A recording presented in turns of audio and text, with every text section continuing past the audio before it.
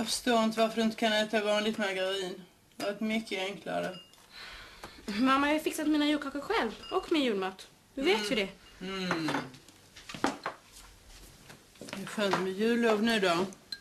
Mm. Hanna, hur gick det med betygen? Va? Hur var det med betygen? Mamma, vi får ju inte betyg till julen. Det är ju kurser nu som ska bli färdiga. Jag har ju förklarat det massor av gånger. Du, vill ju bara att du tar skolarbetet på allvar, Hanna. Att du inte springer omkring och slösar bort din tid.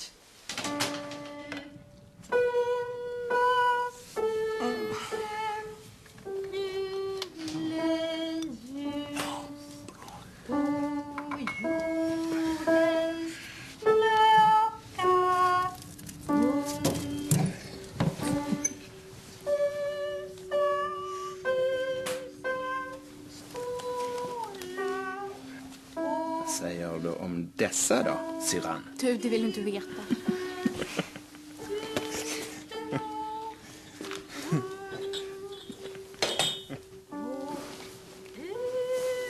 Du får lov att byta den om du inte tycker om den. Eller om den är för liten eller så. Det är bara... Hallå! Är någon där? Hallå? Vad händer?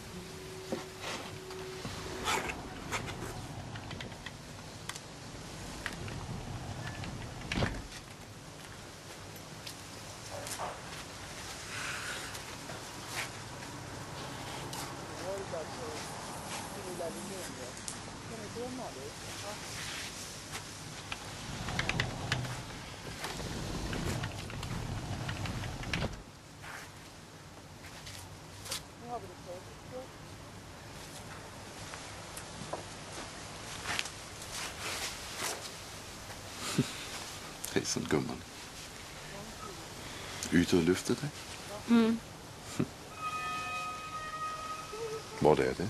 Har det hänt något?